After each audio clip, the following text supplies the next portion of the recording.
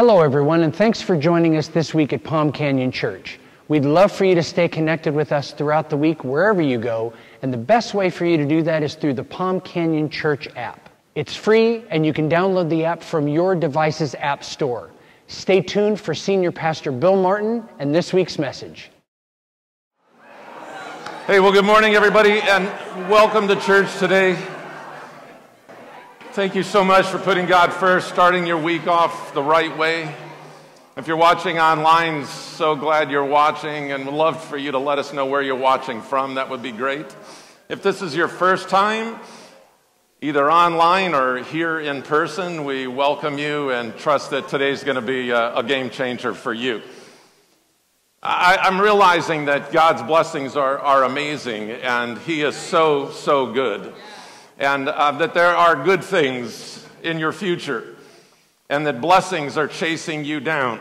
You can go back and read it in Deuteronomy 28 too, but the Bible talks about the people of God, the blessings of God. God's blessings are actually chasing you down. Uh, you can't outrun them, they're going to overtake you, and that's a great, great promise. But I hope today that you will just embrace God's truth and, and let the Word of God uh, get deep inside of you and that you would experience something tremendous in your life. There might be something that you're dealing with that you need an answer for. There might be a problem that you're going through that you need God's help on. And, uh, you know, I, I just want to pray for us as we get rolling today. Father, we, we come before you, and you've given us the great privilege uh, through your Son Jesus to come boldly before your throne of grace. And we come boldly today, Lord, asking for big things from you. You are a big God, and no matter how big that obstacle might seem to us, you are greater than that, Lord. You said that we are more than conquerors, God, uh, that we are the head, not the tail, and that your blessings are chasing us down, Lord. And we thank you for that, and we embrace that. We just reach out today, Lord, to declare that, God, your saving grace, your life changing power is real and uh, that there's healing, Lord, physically, spiritually, emotionally, mentally, financially, Lord, relationally. And we declare that you are the healer and you're the healer right here in our midst today. And we thank you for just the presence of God and the privilege we have to be in that presence today. In Jesus' name, amen. So, if this is your first time here and you're a little bit nervous about what to expect, well, first of all, you, have to admit that the music is, is amazing, you know. Um, so,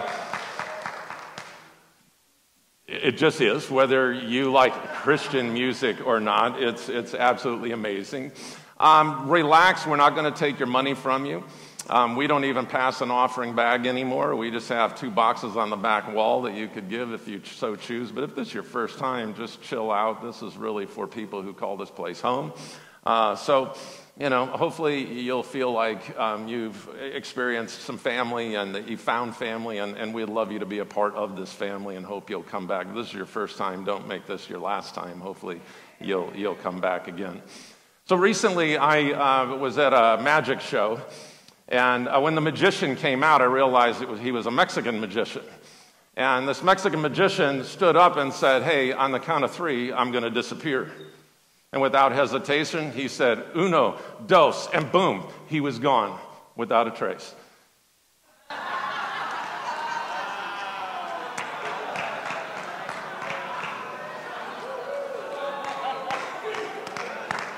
For all of us Spanish speaking people, um, I'm not very bilingual as far as language, but I'm, I'm multi food, whatever. I, will eat about any kind of food. Uh, yeah. Some of you, some of you, you know, you, will get it eventually, but, uh, you know, when you're watching Sesame Street and you hear them, uh, you know, uno, dos, tres. Oh, yes, now I got that. Yeah. You know, kids sometimes say the, the, the darndest things. That was kind of a TV show a, a while back, but, um, you know, it, it is certainly amazing what kids say and how observant they are. You know, I can um, remember back when our, our, my, our son was, was young, uh, was just a, basically a toddler, four or five years old. Back in that day, we didn't just have church on Sunday morning, we had church on Sunday evening. You know, uh, the, the, the real lovers of God went to church twice on Sunday. Um, Yeah, I had a professor once say, I'd love to meet the man who started a Sunday night service because I'd like to shoot that guy. But, anyway, so, you know, Sunday evening service, there wasn't children's church and that, so the kids would sit in church. And I, I couldn't believe how observant uh, that our son was. But um, he said to me one day, Dad, how come when you get up there, uh, before you uh, start talking, you always bow your head for a second? And I said, Well, first of all, I'm thrilled that you're that observant that you would uh, take notice uh, that I would actually do that. Basically, what I'm doing is I'm, I'm praying that God will help me to preach good. To which he said, How come God doesn't answer your prayer?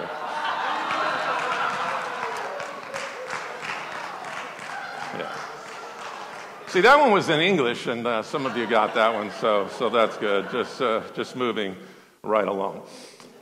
Um, there's something that I believe that all of us have probably done at least once. Um, I, I know you might be thinking, ride a bicycle? No, it's not ride a bicycle. Did you know that roughly one out of 10 millennials have never ridden a bicycle? But the figure is almost 100% of those over 50 have ridden a bicycle. Something that we've all probably done. I know you're thinking, read an actual road map. No, it's not read an actual roadmap.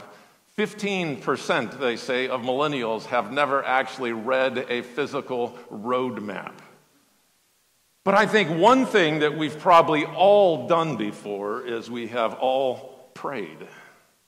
Whether you say you believe in God or not, there's probably been at some point in your life. Maybe it was a, a relative that was sick and you were praying for them. Or maybe it was that you needed this job and you prayed about that. Or that car broke down and you were praying that God would miraculously heal that car. I mean, there's something about prayer that I, I, think, you know, we, we really do, I think, believe that prayer can literally change things. And so every now and then we pray, hoping that God will say yes. But what happens when that loved one dies? Or what happens when you don't get the job? Or what happens when the car really is a goner? Why does it seem sometimes that God doesn't answer prayer? You've probably experienced that in your own life. I mean, I'm going through some of that even as we speak. Um, some of you know that my mother, she's 82, um, was diagnosed with Parkinson's, and she's got several other problems as well, but diagnosed with Parkinson's, um, uh, I don't know, let's say five, six years ago, something like that. And as time rolls on, um, it's not that she experiences tremors, it's, it's more that she's got uh, what's called a Lewy body dementia that uh, affects her, her thinking. And um, so she has trouble, you know, walking because her brain just tells her to sit down whether there's a chair there or not. Or she has hallucinations, fortunately, not nightmarish hallucinations, but uh, things like that. And She's, she's living in a facility, and my dad passed away uh, two and a half years ago. And um, so almost every day I pray for one of two things that either God would heal her and restore her, or that He would take her on to heaven. I probably pray for the latter more than the former, as weird as that sounds. She wants to go be with the Lord, and um, I would love for her to do that as well. Um, it, it's just tough watching people you know, struggle in life. And, um, but that prayer hasn't been answered yet. Uh, so it's easy to start thinking maybe God doesn't answer prayer. There's about seven things I want to tell you today that I think I'm kind of learning about prayer. And yeah, I'm, I'm learning too. I don't consider myself to be an expert. I don't consider myself to be the person who's got this all figured out, and I'm here to tell you, I'm just wanting to share with you a little bit of my journey and kind of what I'm learning along the way. One of those things that I'm learning is that there's no such thing as an unanswered prayer. Whether we think there is, there's really no such thing as an unanswered prayer. The Bible says in Jeremiah 33 3, call to me and I will answer you. The Lord didn't say, call unto me and I might if I'm not busy. Call unto me, and possibly, you know, depending on how good you've been. No, he says, Call unto me, and I will answer. So, if there's no such thing as an unanswered prayer, I'm learning that God answers every prayer with one of two answers it's either yes or no. Now, the yes might come in yes, but wait, or it might come as yes, but not like that. But the bottom line is that God answers prayer in one of two ways either yes or no. You probably know that feeling, though, when, when God answers your prayer with a resounding yes. You know how you feel excited, you feel stoked, you feel um, all pumped up because you're thinking, man, God is so amazing. He's so powerful. He's so able. He's so kind. He's so good. He's so, he's so loving. And you know that feeling when you're on cloud nine because he's answered a prayer. There's a story in the Bible about a guy named Jairus who uh, uh, went to Jesus asking him to quickly come to heal his sick daughter. Before Jesus ever got there, this sick 12 year old daughter died. But when Jesus showed up and went into the room, miraculously, he raised her up. She was raised from the dead, she was healed. Now imagine how pumped up, how excited, and how stoked you would be certainly you would feel like you were on cloud nine that God had answered your prayer. Many of you know the story about my dad back in 1993. Uh, yeah, about 1993, my dad was diagnosed with, uh, with, with leukemia um, and, and really wasn't given much hope. And um, I still remember the day that um, he, he, was in heart failure in ICU and nobody was expecting him to live. The doctor had told me, you know, if you want to see your dad, I suggest you come now. And um, I flew there and walked into this ICU unit and laid hands on my dad and prayed for him. And boom, miraculously, everything turned around. Within a day or so, he was home and he never had another trace of cancer ever. He lived another 25 years, 24, 25 years. You know what? When you get that kind of news, you talk about being excited and stoked and pumped and thinking you can take on the world. That's, that's kind of how that feels. But it's a much different feeling when a no comes whistling down the hallways of your heart. A no kind of knocks the wind out of you. It kind of makes you feel like maybe God's punishing you. Or maybe God's not answering because he disapproves of you and you're feeling like this is unfair, this is not right, maybe God's not really good, maybe God doesn't really even exist. You've prayed, but the pain hasn't gone away. You've prayed, but the loss hasn't stopped hurting. You've prayed, but the illness is still there. You've prayed, the loneliness keeps aching. You've prayed, but the memories aren't fading. Now, if your view of God is that He's more like a vending machine, of course you're going to be upset when you press the button of the machine and God says no and what you ask for doesn't come out. Of course you're going to be upset. But if you've ever felt God saying no to you, you're probably in pretty good company. The Bible tells us about Paul, the apostle. Imagine how he must have felt when he begged God three times to remove what was called a thorn in the flesh and God simply said, no. Or think about Jesus, who petitioned God to rid him of suffering the night before he was to die on a cross, and God said, no. Another thing I'm learning is that God is not required to answer our prayers with a yes. God, like a loving father, sometimes says no. Lizzie was 13 years old, or about to turn 13, when her mom decided she was going to throw her a surprise birthday party. And mom got um, her favorite cake, picked out her decorations in Lizzie's favorite colors, planned an amazing afternoon with her favorite friends, and together they would all be a part of this sneaky little scheme. But when the day for the party arrived, Mom, turns out, wasn't the only one who had dreamed up a birthday plan. Turns out that Lizzie had devised one too. And on this special day, over breakfast that morning, she announced to her mom, I want to go to the movies with my friends this afternoon. Will you drive us to the theater, mom? Now, mom wished she could have explained the answer, but she took a deep breath, praying that her daughter would trust her, and then replied with a kind but firm no. As you can imagine, Lizzie was irate. Instantly, she accused her mother of being uncaring and unfair and was determined to spend the rest of the day pouting in protest. But fortunately, mom refused to be swayed by her pouting because she knew something the daughter didn't know. Mom's present no was protecting Lizzie's future yes. And ultimately, these plans for a birthday party, in fact, were good. And later that day, when the disgruntled diva waltzed through the front door right into the middle of her own surprise party, and as a noisy rendition of Happy Birthday filled the room, she suddenly realized and understood the reason for mom's no. And Lizzie ran to her mom and said, Thanks for spoiling my plans today, mom. Yours were even better. Sometimes, when my plans don't unfold as I hoped, when I'm praying for open doors, yet they remain closed.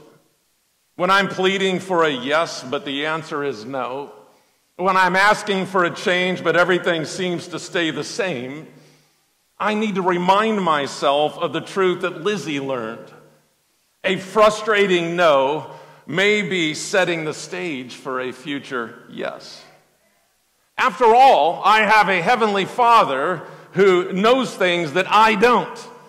And sometimes he needs to wreck my agenda in order for his to come to pass. Jeremiah says in Jeremiah 29 11, For I know the plans I have for you, declares the Lord plans to prosper you, not to harm you, plans to give you a hope and a future. This is what Almighty God has to say about us. He's got plans for every single one of us. Not to destroy our life, not to make life miserable, but plans to prosper us, plans to give us a hope and a future. But it takes some faith. It takes some real faith to believe that promise when life isn't going as we'd expected. Number three, I'm learning we don't need to understand all of God's ways to accept His will. We simply need to trust His heart. You see, when God says no, we're sometimes tempted to wonder if he really loves us. That seems to be a go to thing. God, don't you love me? But in reality, it's because God does love us that he sometimes says no. You got to understand that the Bible's full of things about God. The Bible tells us that God is love, that God is kind, that God is trustworthy, that God is for us, not against us. And when we remember who God is, we can more readily embrace what He's doing, even if He says no. You've probably realized that God's plans don't always mirror yours. And you've probably also experienced the fact that sometimes He actually surprises us.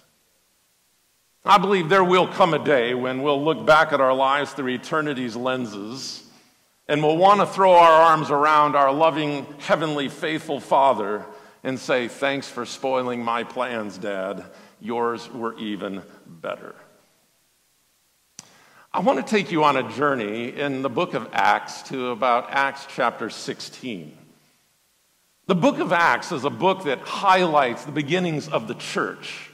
It highlights the coming of the Holy Spirit and the power of the Holy Spirit that is being poured out on people and how people function in and with the power of the Holy Spirit working in and through them.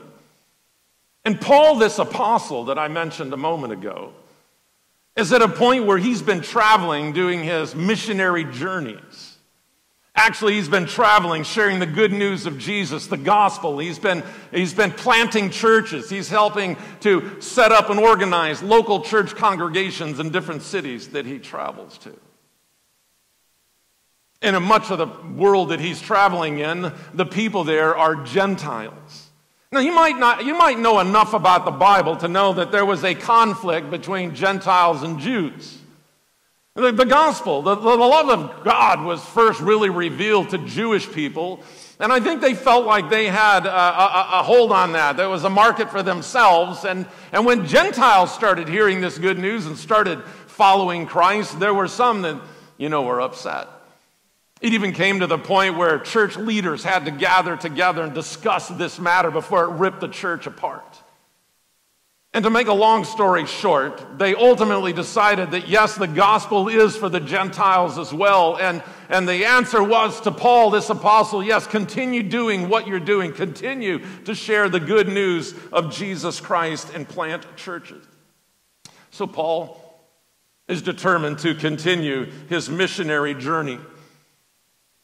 He takes on a new partner at this time. He takes on a man by the name of Silas, and Paul and Silas begin, first of all, to visit some of the churches that Paul had organized earlier, simply to go there to encourage these believers to help strengthen these churches. And in Acts chapter 16, verse 6, the Bible tells us that they traveled throughout the region of Phrygia and, and Galatia. But look at verse 7. It says, When they came to the border of Mysia, they tried to enter Bithynia, but the Spirit of Jesus would not allow them to. To help you to understand what is happening here, God is telling Paul no. You're thinking, well, what's up with God telling Paul no to sharing the good news of Jesus? Why is God telling Paul, don't go there and preach the gospel? Because preaching the gospel is certainly a good thing, wouldn't you think? Now, if that was you or me, I would imagine we would probably just throw our hands up in the air, quit, and go home and go, all right, it's over. Because if you're like me, we don't handle no very well. And especially when God says no. We don't do well with no, even in parenting. Right? Sometimes parents need to tell their kids no. yeah. Uh, you don't have to answer this out loud, but when's the last time you told your kid no? You see, your role as a parent is not to always make your kid happy. Because if parents learned to say no at appropriate times, they'd probably teach their children how to handle frustration and disappointment and acquire the patience and self responsibility that they need in order to compete in this global marketplace. Now, popular culture brainwashes us into thinking that we really deserve whatever we want whenever we want it. You can get that through television, through wherever. But with God, the goal isn't no. No is actually the road to yes. Now, here's a fourth thing that I'm, I'm learning that when God says no, it's not necessarily rejection, it may simply be redirection. I believe our Heavenly Father knows what's best and He wants what's best for us. I believe that's in His character. I believe His perspective is bigger than mine, His plan is better than mine, and His purpose is greater than mine.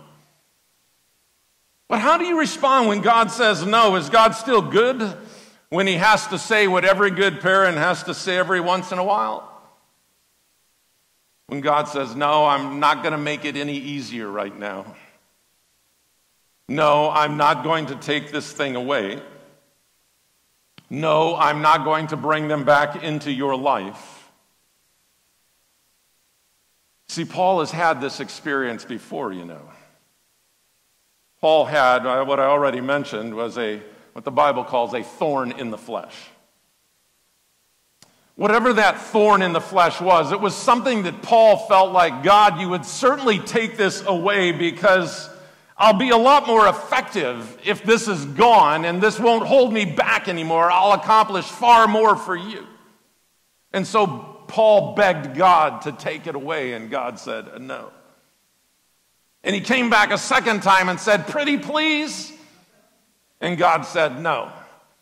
And he came back a third time and said, Pretty please, with a cherry on top. And God still said, No. Now, I want to ask you is God still good when the answer is no?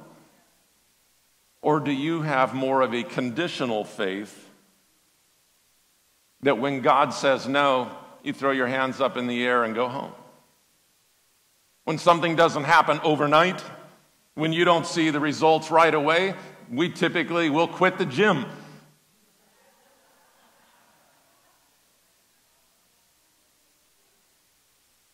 I went there once. when things don't happen overnight and we don't see the results right away, we'll quit church. I went there once. When things uh, don't happen overnight and you don't see results right away, we'll, we'll, we'll quit praying even. Now, it would have been very easy for Paul and Silas at this particular moment to think, well, since God said no, we ought to just pack it up and go back home. But Paul didn't see it that way. Because Paul knew that just because God says no doesn't mean it's over. Now, I don't know what kind of no God might be telling you, or I don't care what kind of no that you've heard from your doctor or somebody else. The Bible says that the one who began a good work in you will be faithful to complete it, so it's not over. Here's the fifth thing, and my biggest point of all God's no is a prelude to an even greater yes. When God says no, He's not trying to mock you, He's not trying to make you miserable. He loves you too much to give you what you ask for when He knows it isn't His best.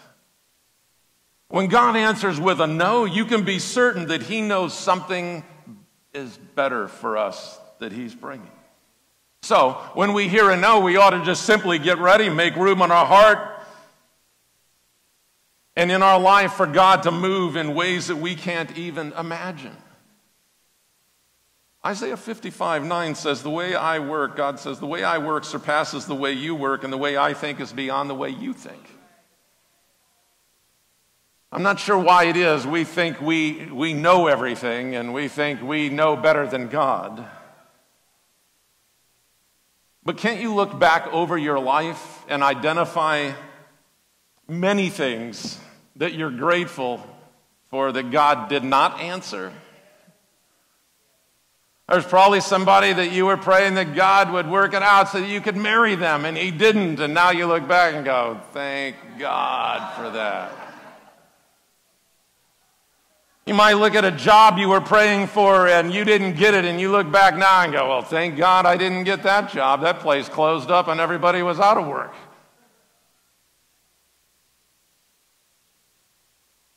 There's a lot of God's noes that we can look back and identify and say, Man, thank God for that. You see, Here's another thing I'm learning. Number six God's with you in the no as he's with you in the yes.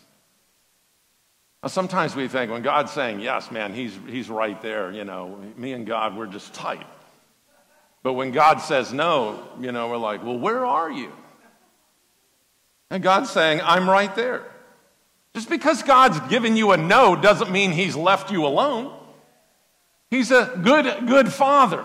As Chris Tomlin sings, I love that song. I mean, who knows what's on the other side of no?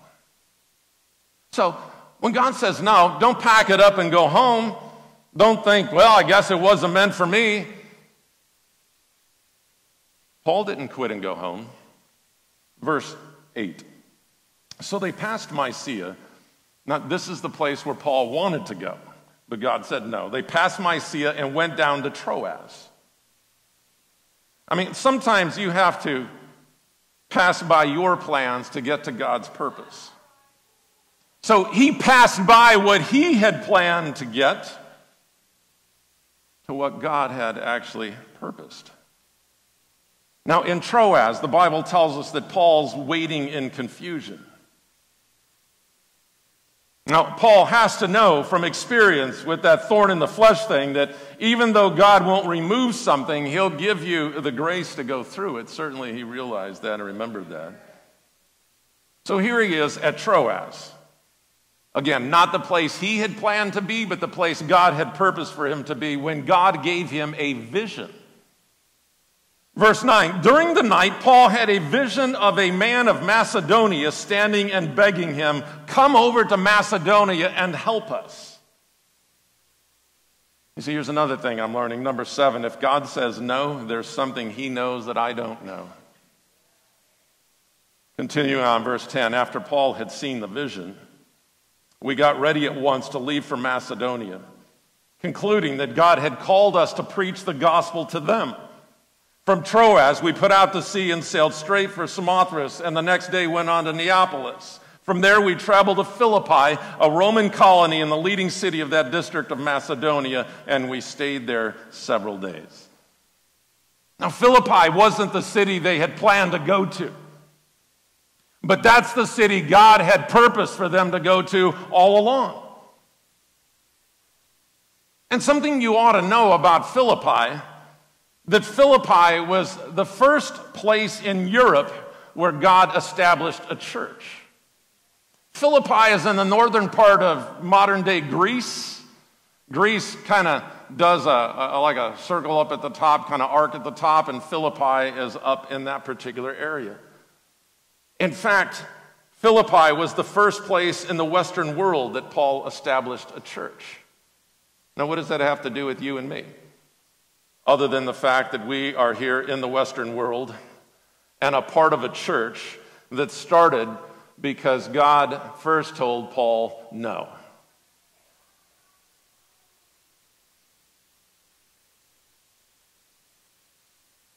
What's on the other side of your no that you'll miss if you pack it up and go home? What's on the other side of your no that you'll miss if you tuck your tail between your legs, disappointed, and deny that God even exists? Now, if you're going to receive a yes with praise, at least receive a no with trust. And be willing to let go of your plan to grasp hold of what God has purposed. As you've got to understand that God has already seen the last frame of your story before he started casting and directing. He already knew. So, what do you do when God says no? Now, don't get me wrong, I, I struggle with God's no's too. We can either succumb to those feelings of confusion and sorrow and disappointment and fear but those feelings are really just the gateway to bitterness and depression. Or we can do, number one, we can trust that God does everything out of his goodness and love. Romans 8:28 says, "And we know that God causes everything to work together for the good of those who love God." We don't have to understand God's answer to know that it is motivated by love.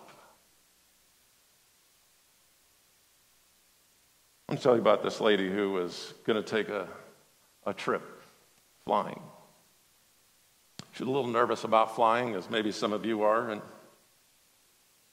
since she didn't fly very often, she was even more nervous. Made sure days in advance she had everything in her bags and that her bags were packed. And the day of that she would get to the airport very early. And so she got there, got through security, made her way to the gate, and Still had like 45 minutes before the initial call to start boarding would even be given. So she thought, well, maybe I'll get a snack. And she walked over to this snack shop and bought a little bag of cookies and thought, well, maybe I'll give myself a little bit of a treat while I'm waiting on my plane. So there she is, sitting in the gate area, and the cookies are beside her when the guy next to her in the gray suit reached over and took one of her cookies. Well, she didn't really know what to do, but she decided, I'm not going to confront him or anything at this point. I mean, again, she was nervous enough about flying. And so she just took a cookie and just sort of went on with reading her book right there. And he reached over and took another cookie. Then she took a cookie. And he took another cookie. And she's thinking to herself, what in the world is going on here? What, what, what is this? Well, as it turns out, as she was sitting there reading her book, she ate about half of the cookies, but he ate about half of the cookies too. And then it came time to start boarding the plane, and the announcement was made. And so she got up, grabbed her scarf, gathered her belongings, and noticed there was still one cookie left. And she wondered is he going to eat that last cookie? Or is he going to let me have it? And sure enough, she made eye contact with this man, and he gestured that she should have the last cookie. Well, of course, she took the cookie and kind of huffed off, throwing the wrappings away, and went on and got in line and boarded her plane. About 45 minutes later, on board reading her novel, she was still distracted by this thing that had happened at the gate. And she thought, the gall of this guy, I cannot believe it. Is this what people do in airports now? When food's sitting next to you, they just reach over and help themselves? I mean, is it okay to just take somebody's stuff without even asking? And she reached into her bag to put away her novel when she noticed her pack of cookies. she realized that the pack of cookies sitting on the table next to her at the gate actually belonged to the guy in the gray suit and she was the one who had been taking cookies without his permission. And in doing so, she made a lot of assumptions. She thought she knew that those cookies were hers when in fact they weren't. And based on her false assumption, she made some bad and erroneous judgments about this guy. She made him out to be a bad guy. You see, sometimes what we think we know can get us into trouble. I think our problem is we think we know a lot more than what we actually do. Imagine if Tiger Woods addressed you on how to get lift of your golf ball out of a sand trap, or Imagine if Jimmy Page showed you a trick to play an amazing riff on the guitar, or imagine if Bill Gates talked to you about how to really utilize Microsoft 10. The normal response in the face of greater knowledge and insight is to listen, to learn, and to apply. Their knowledge transcends your own, and only a fool would dare to say, Thanks, but no thanks, I got this one.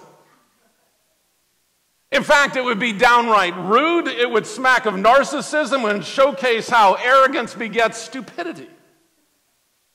The most basic message of wisdom is really never backseat drive someone who clearly knows more than you and wants to help you. Golf, guitar, gates, God, God. How many times have we told God, I know better. Thanks, but no thanks. I'll take it from here. We don't really know better. He knows better. We think we know a lot more than we actually do. And based upon what we think we know, we make assumptions. And sometimes we make assumptions God doesn't love me, God's busy with somebody else. Sometimes we'll make the assumption that maybe God doesn't even exist. But how about we learn to trust God? When you get a no, number two, pray what Jesus prayed facing the cross. Mark chapter 14. He went on a little farther and fell to the ground. He prayed that if it were possible, the awful hour awaiting him might pass by him.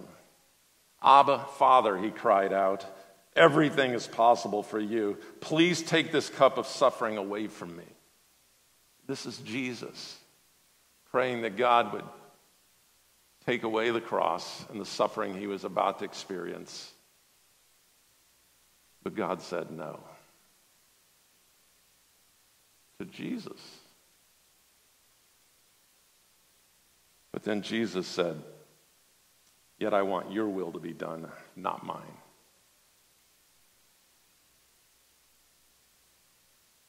I believe prayer has the power and the capability of changing things. I do. And I think we ought to pray. And in our prayers, as Jesus even prayed there, we really ought to affirm God's power. And we ought to ask with passion. I'm not saying don't ask, I'm saying affirm God's power and ask with passion. But then accept God's plan. Atheist turned apologist Lee Strobel had a movie recently addresses in his book, The Case for Miracles, how to deal with God saying no. Strobel says, My wife has fibromyalgia. She's been in pain every day for 20 years. She'll be in pain every day for the rest of her life unless God does a miracle. And that miracle hasn't happened, he said. So this is a very relevant issue for me and for her. I know some of you are sitting here right now and you're facing some things and you're praying for an answer, but that answer hasn't come yet. Strobel then decided to discuss this issue with philosopher and professor Douglas Groothuis, whose wife is dying prematurely from dementia.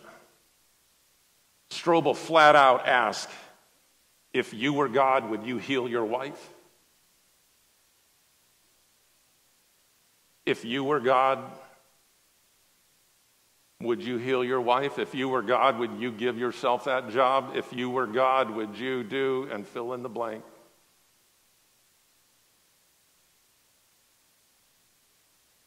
Groothuis' answer shocked him. No, he said. If I were God, I would have his perspective.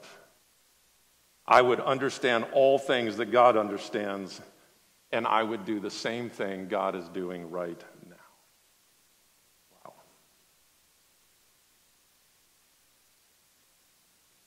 When healing doesn't happen,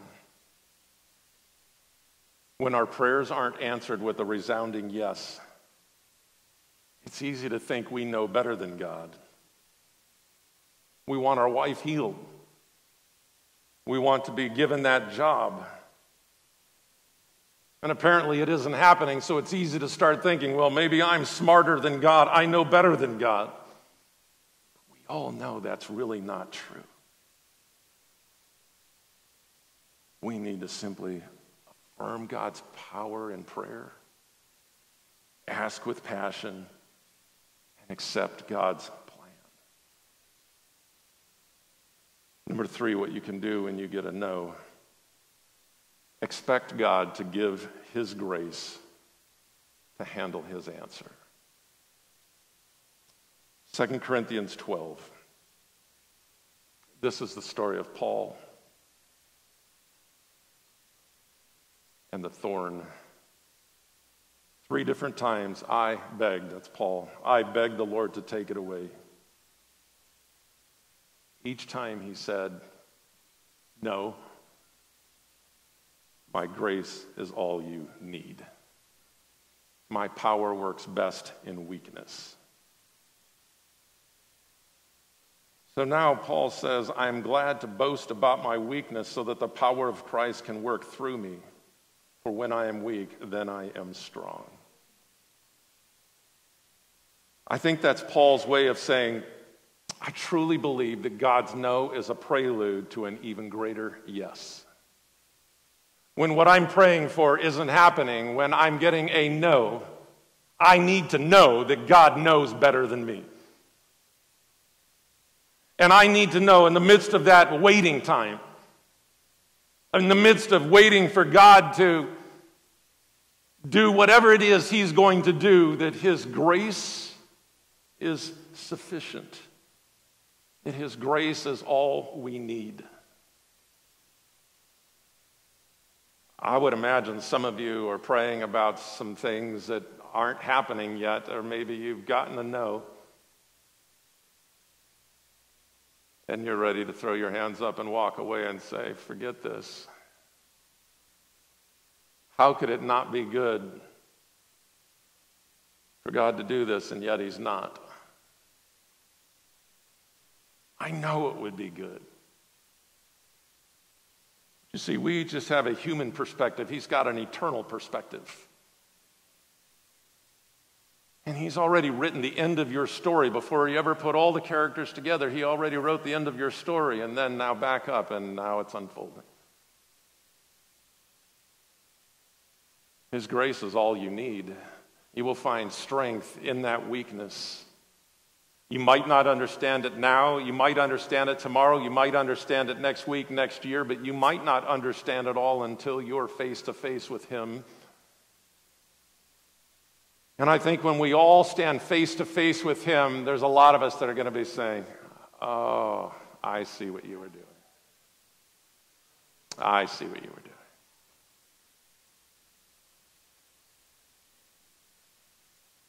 I asked, when's the last time you told your kid no?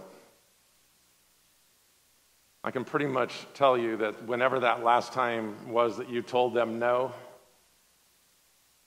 there was probably,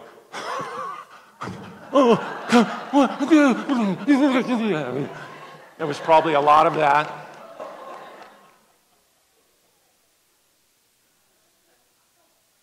There's probably a lot of, you don't love me.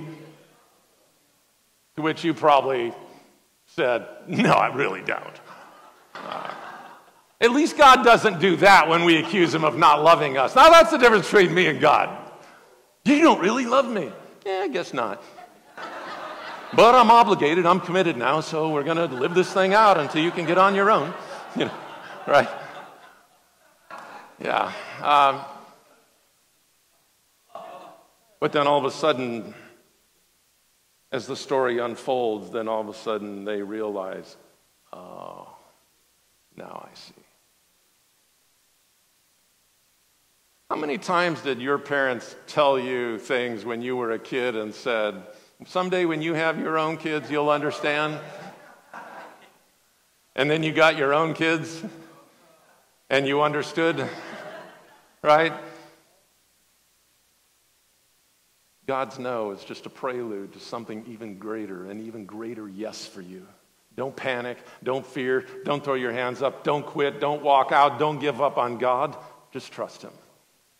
And just pray, not my will, Lord, but your will be done. And expect Him to give you the grace that's needed for however long that is needed.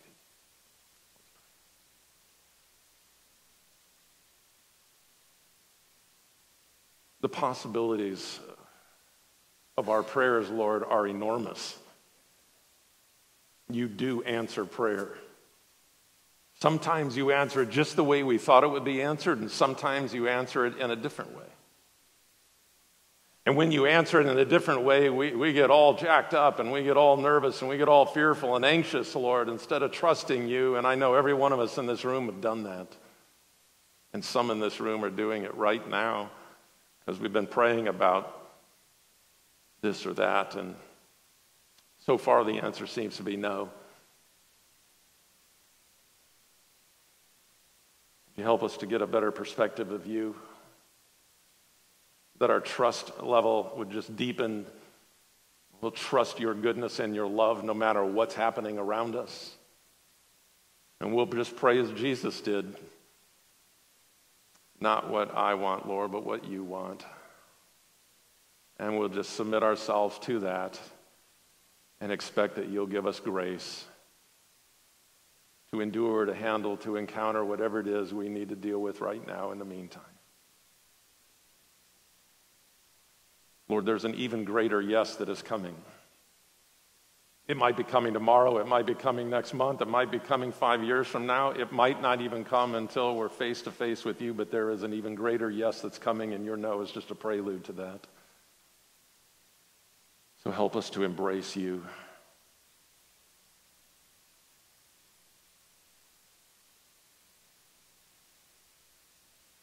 I don't know, some of you, maybe your faith in God is wavering for this very reason, he, he said no. I want to ask that you would just rethink that for a moment. And imagine a God who loves you so much that there's no way he's going to give you what you want because he knows what that'll ultimately lead to. Now that's love.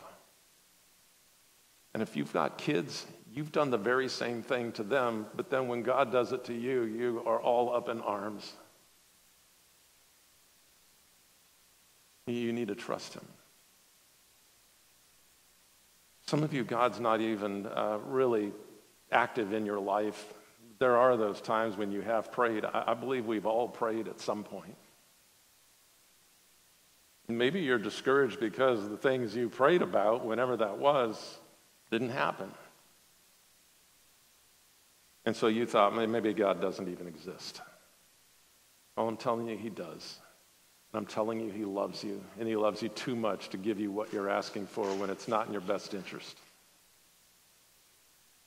And whatever no He's told you is simply a prelude to something even greater, an even greater yes. You need to have faith and trust in Him too. And maybe you just need to put your trust in Him and, and, and live for Him and, and become a Christ follower, become a Christian, become a believer. Stop doubting. We're not to be doubters, we're to be believers, to believe that He is who He said He is and that He loves you, and then just embrace that and let Him embrace you. I mean, right there at your seat, you could just say, God, I, I don't know. I, I'm going to try this believing thing, and I'm going to embrace you, trusting that you're going to embrace me. When you say yes to Him, you embrace His yes for you. And then all of a sudden, His goodness and his blessings are chasing you down so fast you can't outrun them.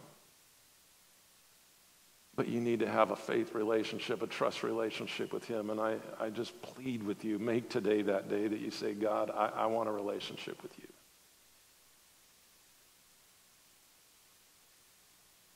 Now, if your faith's been wavering because you haven't gotten the answer that you wanted,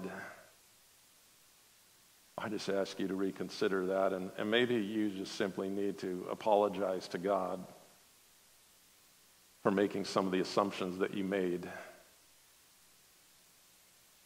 when in fact the cookie was in your bag all along.